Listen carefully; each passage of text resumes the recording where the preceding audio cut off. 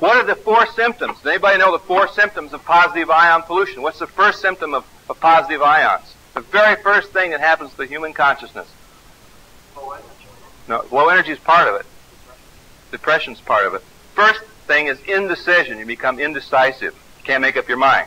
You're with a group, right? Energy comes from, er, you know, feelings. What's better than a good feeling comes from three different places, right? Number one source of feelings is air, right? Is your first source of feelings. If you don't believe me, hold your breath for five minutes, okay?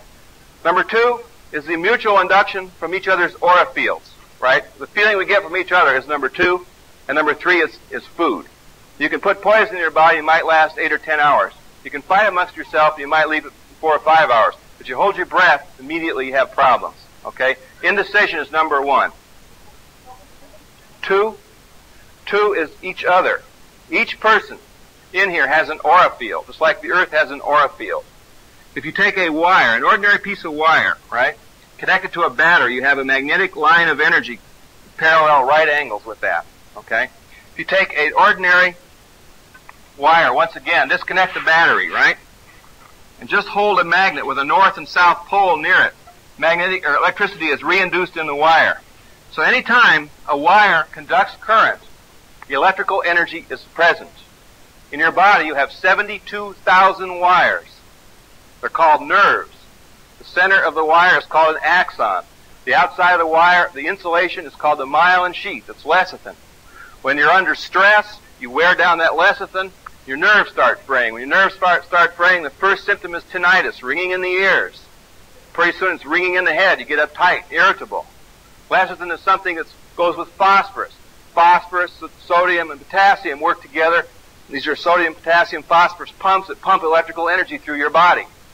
Whenever you have one wire with a magnetic field, you have another wire with a magnetic field.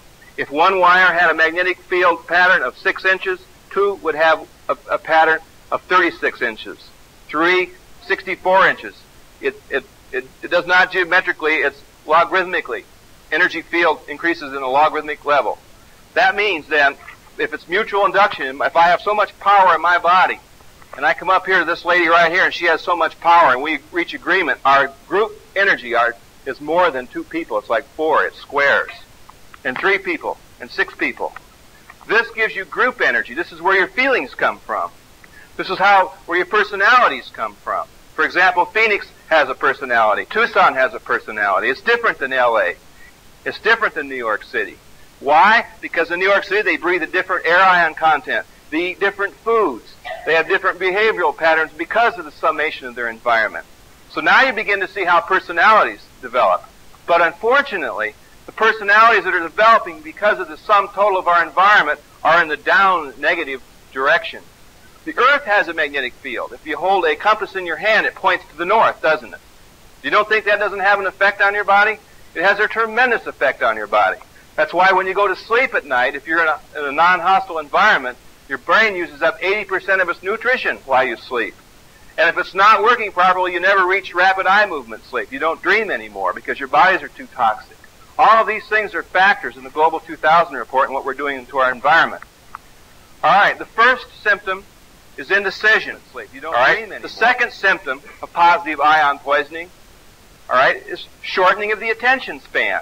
How many of you noticed your attention span isn't as great as it used to be?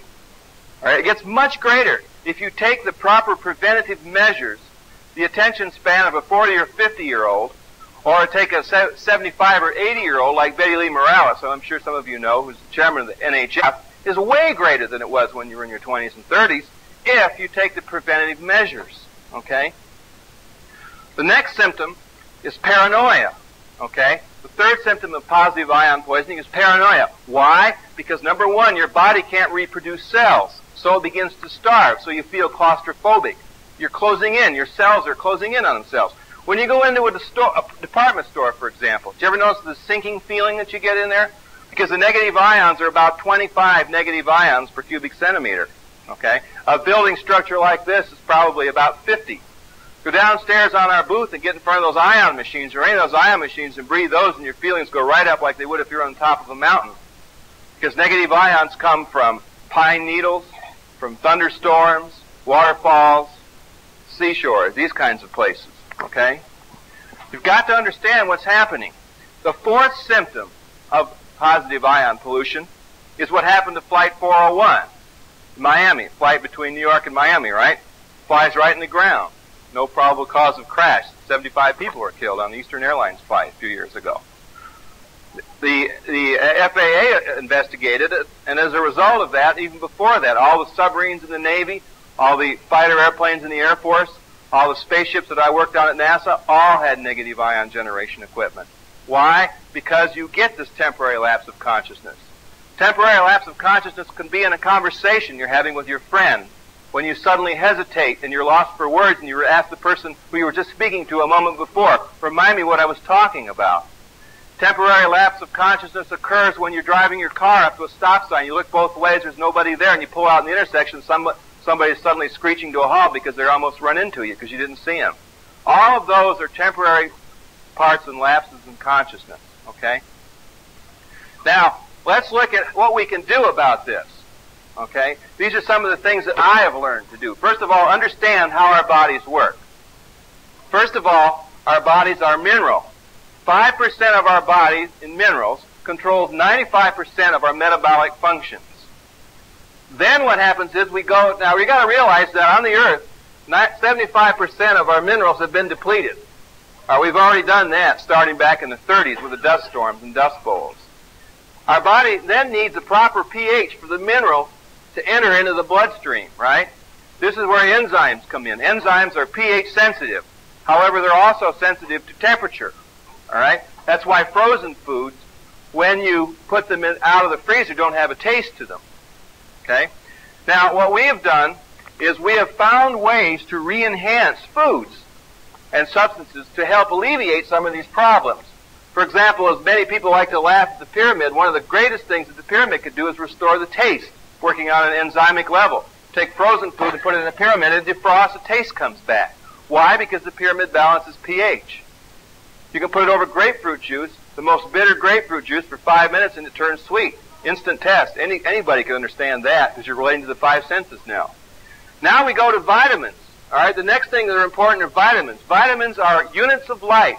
Our body basically requires seven rays of light, and it converts the seven rays of light into 12 metabolic functions, which then powers up 49 subfunctions and makes all our cells work. That's why a vitamin is in a brown jar, because the light gets in, the light goes out, it escapes.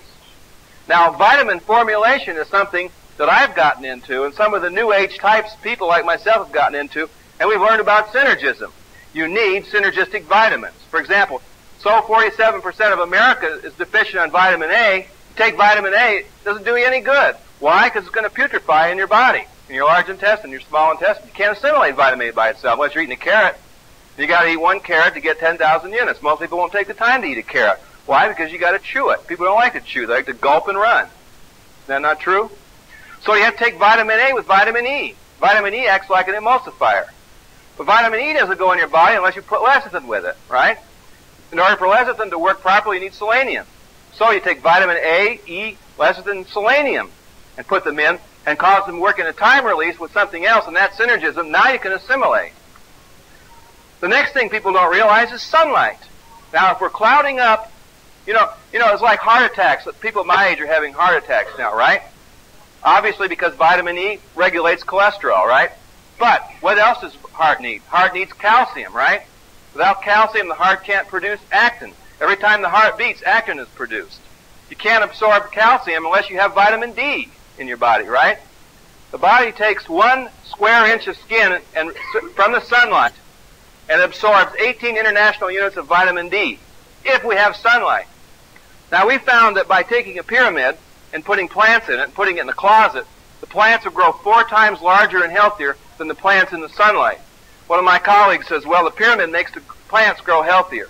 I says, no, the pyramid allows the plants to grow normally. The ones in the sunlight should have grown the same, but we've interfered with the sunlight, with our ozone layer, with the smog in the atmosphere, with volcanic ash that's going up there, and the jet exhaust that's up there. So as a result, we don't get vitamin D. When you don't get vitamin D, you can't assimilate your calcium. I don't care what, how you take it. So in synergism vitamin formulation, you want to make sure that the A, E, lecithin, and D, which is another oil, are all together so you can absorb calcium which should be in a chelated form, pre-digested. This is what vitamin synergism is all about. Now we go on into protein. All right? The new age vitamin formulas that you'll run into now, the ones that really know what's going on, have the eight essential amino acids in the vitamin formula along with the vitamins.